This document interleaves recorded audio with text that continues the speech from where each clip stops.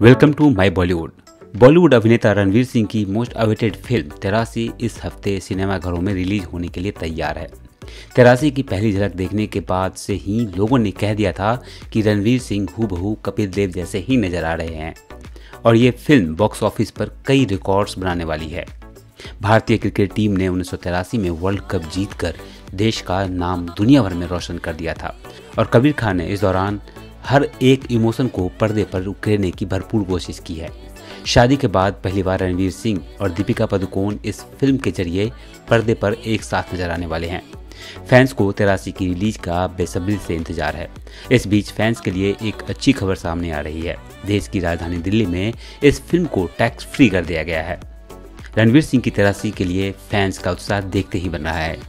दिल्ली के मुख्यमंत्री अरविंद केजरीवाल ने इसकी घोषणा की है। बता दें कि रणवीर सिंह की ये फ़िल्म 24 दिसंबर के दिन सिनेमाघरों में दस्तक देने वाली है।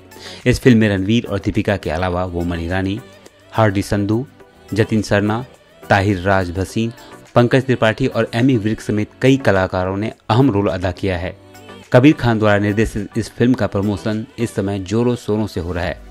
हाल ही में दुनिया की सबसे ऊँची मीनार बुर्ज खलीफा पर इसकी झलक देखने को मिली थी। इस दौरान का एक वीडियो सोशल मीडिया पर खूब वायरल हुआ था। बुर्ज खलीफा पर तिरासी की झलक देखते ही दीपिका पादुकोण काफ़ी इमोशनल हो गई थी।